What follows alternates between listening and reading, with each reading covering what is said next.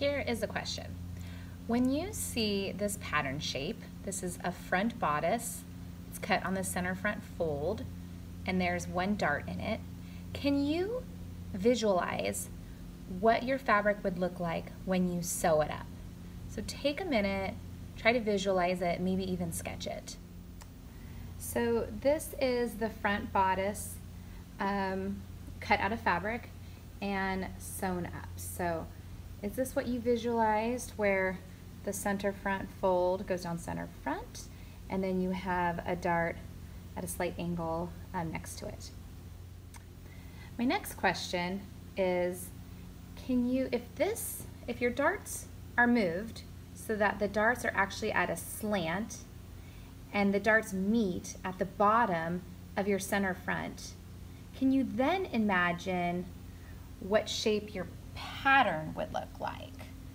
The dart definitely wouldn't be here, it would be moved. Can you envision of what shape you think your pattern would look like?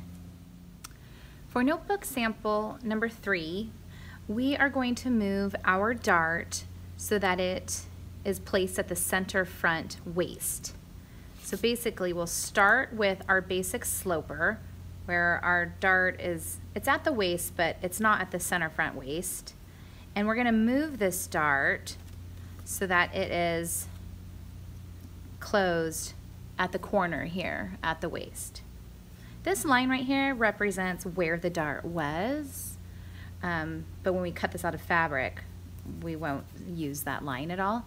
Um, and these would be our sew lines. We would sew these dart legs together so that when we're finished, our dart will end up at the center front waist, okay? There are two different techniques to move darts around. Um, the first one we're going to do is called slash and spread. The other one we'll learn about later is called the pivotal turn method, but today we're going to start with slash and spreading. Um, this is really handy if you have a sloper that fits your client very well and you just want to redesign the garment and you already have um, a slope with her fit, um, using the slash and spread method, it's not going to change the size of your garment, it'll just change the design. So this is a great technique for you to learn today. Okay, so let's get started. Okay, so this notebook sample is in your book and we're going to follow the steps in your book. Um, in my book, it's on page 77, but I know there's different versions out there. It's called the Center Front Waist Dart. Um, it's under the single dart series slash and spread technique and it's in chapter four. Um, so the first step, our instructions say um, to trace our pattern, which I have a photocopy of, so check.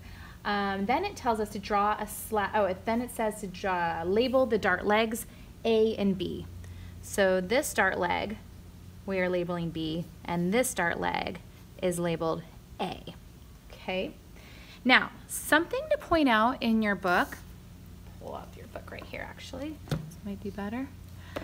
There you go, B and A, is that their dart legs meet at the bust point.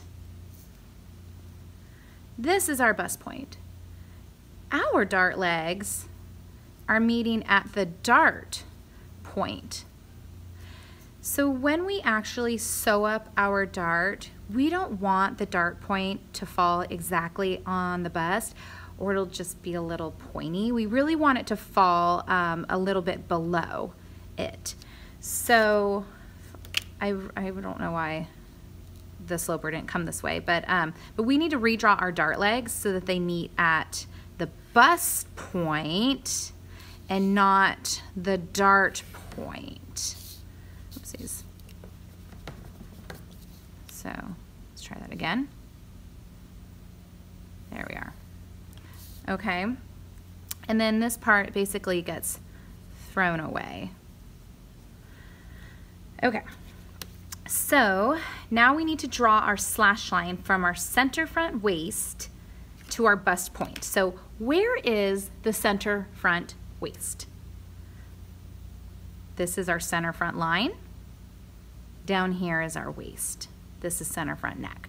So here's our center front waist. So we want to draw a slash line from this point to the bust point. Right here is the bust point. Okay, so use a ruler, connect those two points. There we are. Okay, that is my slash line. Okay, let's see if I can get this in the camera for you. Okay, great. Okay, figure two. Now we're going to slash our pattern from center front waist up to, but not all the way through, the bust points. We're gonna get our scissors and slash it. Great.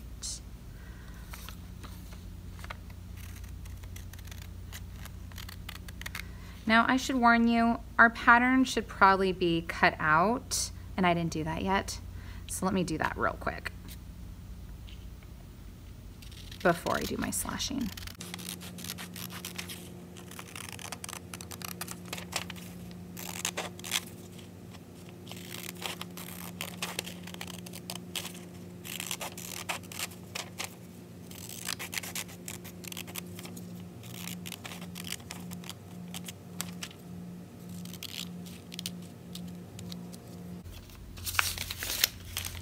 Okay, I'm ready to slash, back in business.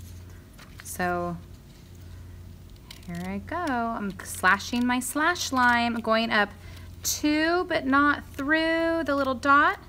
So hopefully I cut close enough that this is still connected. If it's not, just tape it back. Okay, so that's figure two. Figure three, we're gonna close dart legs A and B and we're gonna tape them together. So this is getting closed. Maybe I'll cut this just a little bit more. There we go. Great. Get some tape, taping it closed. Okay, great. Now we're gonna place this on paper and retrace it.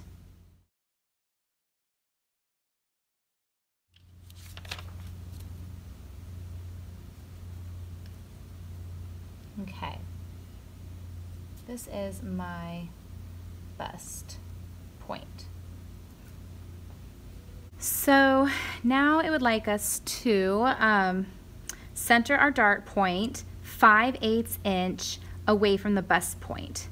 But we are working on the half scale. So what is half of 5 eighths?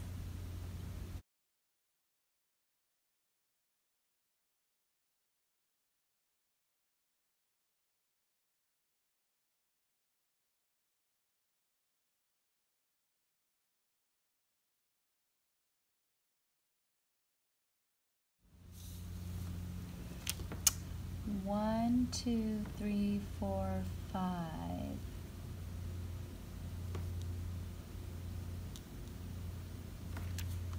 And this is our dart point. Now we can draw our dart legs.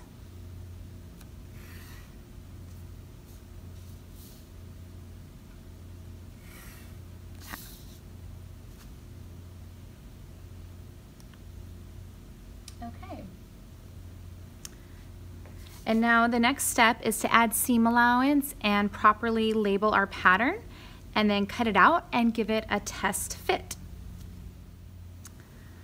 When you are finished, your notebook sample should look something like this, where you have your dart at the center front waist. You have your seam allowance, you've labeled your pattern, and then you also have your sewn test fit sample as well.